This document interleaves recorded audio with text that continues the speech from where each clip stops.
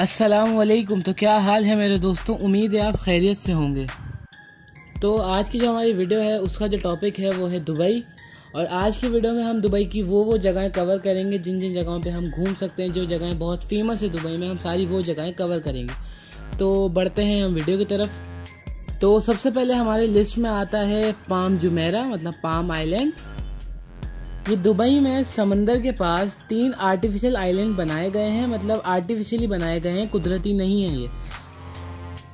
अब ये तीन आइलैंड आर्टिफिशियली बनाए गए हैं, उनका नाम है, एक का नाम है पाम जुमेरा, एक का नाम है पाम जबील अली और दूसरे का नाम है डायरिया आइलैंड अगर इनको हम थोड़ा सा मतलब स्पेस व्यू से देखें या ड्रोन व्यू से देखें तो ये आपको कुछ इस तरीके का नज़र आएगा और ये बहुत ही ज़्यादा अमेजिंग और बहुत ज़्यादा ब्यूटीफुल प्लेस है।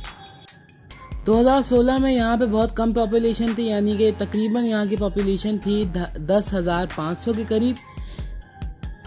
यहाँ पर ट्रेवलिंग के तौर पर ज़्यादातर मोनो रेल्स का यूज़ किया जाता है, ये छोटी छोटी होती हैं ट्रेन की तरह इन्हें यहाँ ट्रेवलिंग में यूज़ किया जाता है। अब उसके बाद नंबर टू पे हमारे पास आता है बुर्ज खलीफा अब बुर्ज खलीफा के ऊपर एक पूरी डिटेल्ड वीडियो मैं लास्ट टाइम बना चुका हूँ तो अगर आपने वो नहीं देखी तो आप वो भी देखें। मैं इसका लिंक डिस्क्रिप्शन में दे दूँगा। अब बुर्ज खलीफा के बारे में आपको इन शॉर्ट बता दूँ कि ये दुनिया की सबसे बड़ी बिल्डिंग है। इसकी ओपनिंग 2011 में हुई थी और इसके अंदर करीबन 176 फ्लोर्स हैं। और अगर इसके बारे में आपको और डिटेल जाननी है तो मेरी लास्ट वीडियो देखें, उसमें आपको इसकी सारी डिटेल मिल जाएगी। अब इसके बाद नंबर थ्री पे हमारे पास जो जगह आती है, वो होती है बुर्जुल अरब।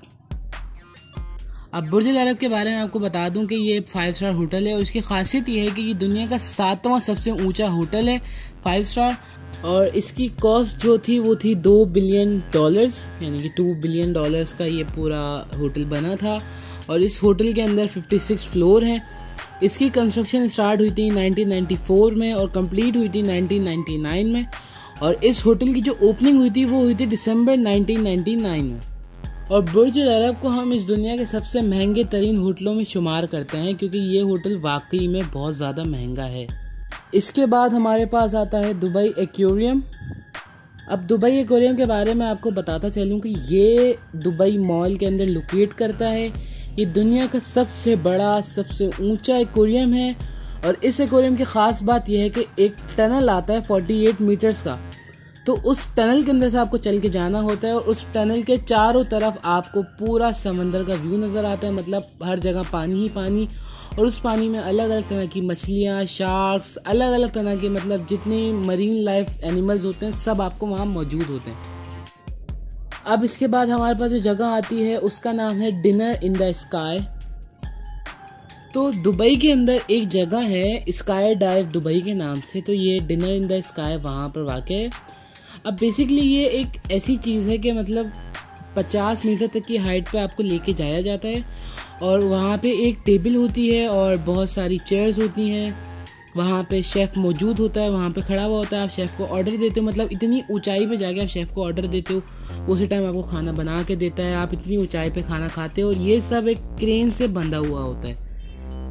तो अब हम बढ़ते हैं दुबई फाउंटेन्स की तरफ़। अब दुबई फाउंटेन्स एक शो होता है। अब बुर्ज खलीफा के नीचे जो फाउंटेन है, वहाँ पे ये हर जुम्मे छः बजे, ये पाँच मिनट के लिए ये शो होता है। इसके अंदर तकरीबन छः हज़ार छः सौ लाइट्स होती हैं और इसे एक कैलिफ़ोर्निया की कंपनी ने बनाया था और इसकी कॉस्ट थी तकरीबन 218 मिलियन यूएसडी डॉलर्स तो आज की वीडियो में मैं आपको वो वो जगहें बता चुका हूँ जो दुबई में मोस्ट विजिटेड प्लेसेस होती हैं। तो इन जगहों का इतना कुछ बताने के बाद इसकी एक सैर तो बनती है।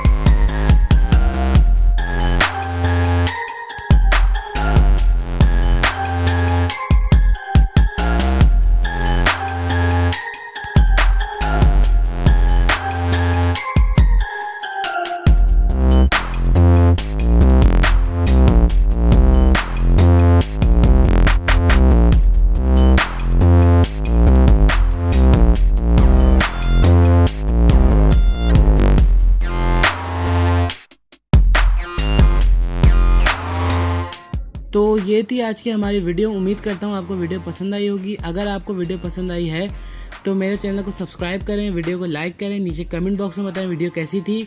मेरी वीडियो को ज़्यादा से ज़्यादा शेयर करें और मैंने नीचे डिस्क्रिप्शन बॉक्स में अपना फेसबुक ट्विटर और इंस्टाग्राम का लिंक दे दिया है।